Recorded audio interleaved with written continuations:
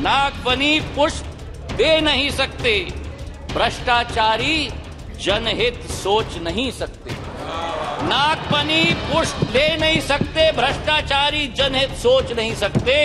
आपातकाल लगाने वाले संविधान की रक्षा कर नहीं सकते।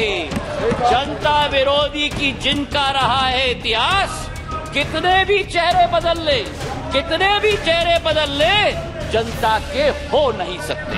ये कहते हैं कि नफरत के बाज़ार में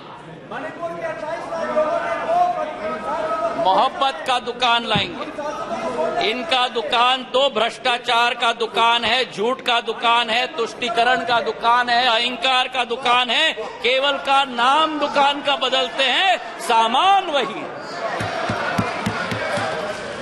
राहत इंदारी जी का के शब्द मुझे याद आते हैं कि नए किर, नए किरदार आते जा रहे हैं मगर नाटक पुराना चल रहा है।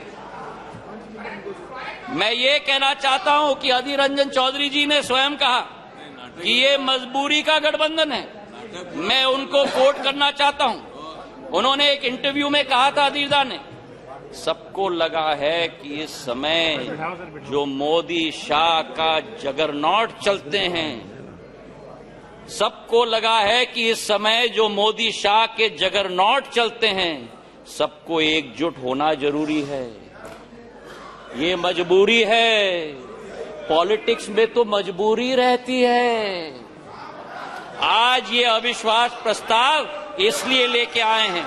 मैं ये पूछना चाहता हूँ कि कौन सी इंडिया की आवाज़ ये उठाते हैं जब विदेश जाकर टू इंडिया की बात करते हैं? ये कौन सी इंडिया की आवाज़ उठाते हैं जब गलवान में हमारे सेना के शौर्य और उसी के साथ सर्जिकल स्ट्राइक पर उंगली उठाते हैं? ये कौन से इंडिया की आवाज़ करते हैं जो कोरोना जैसी भीषण समस्या में राजनीति पर उतर जाते हैं? और आज पिछले दो दिनों से सभापति महोदय, मैं सुन रहा हूँ विपक्ष को। कोई महाभारत की बात कर रहा है। कोई रामायण की बात कर रहा है। कोई राम की बात कर रहा है। कोई रावण की बात कर रहा है। अच्छा है कि आज धर्म की बहुत बायाद आई इनको। कोई जनेवधारी है, कोई मंदिर की परिक्रमा कर रहे हैं, कोई यज्ञ आयोजित कर रहे हैं, कोई पार्टी तो अपने संकल्प पत्र में डाल रहे हैं कि राम वन गमन पथ का हम संकल्प करते हैं। मैं इनको स्पष्ट रूप से बताना चाहता हूँ, ये मुखोटा नहीं चलेगा।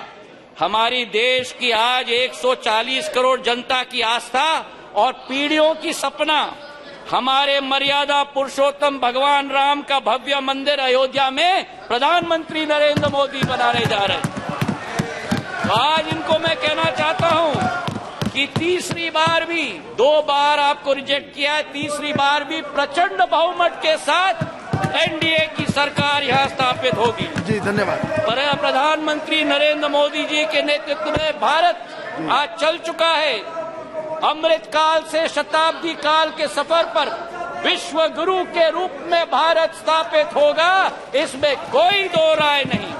और आप इस सत्य को अपने झूठ के साथ पराजित नहीं कर सकते। मैं अंत में चार लाइन करके अपना बात समाप्त करता हूँ। नागफनी पुष्प दे नहीं सकते। नागफनी पुष्प दे नहीं सकते। भ्रष्टाचारी जनहित सोच नहीं सकते। नागफनी पुष्प दे नहीं सकते, भ्रष्टाचारी जनहित सोच नहीं सकते। आपातकाल लगाने वाले संविधान की रक्षा कर नहीं सकते।